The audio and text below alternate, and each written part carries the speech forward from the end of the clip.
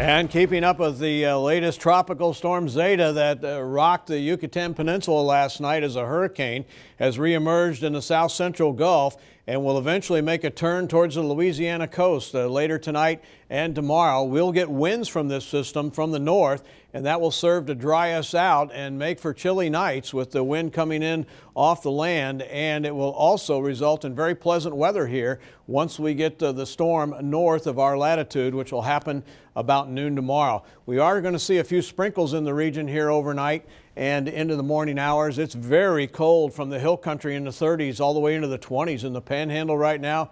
We are holding uh, in the uh, 50s and 60s right here along the coast. The day planner for tomorrow, there'll be a little light rain in the morning. It's kind of a Jekyll and Hyde type of day. AM chilly, PM nice, oh so nice, sunshine and 70 degrees with a northwest wind though, a little on the breezy side because of Zeta.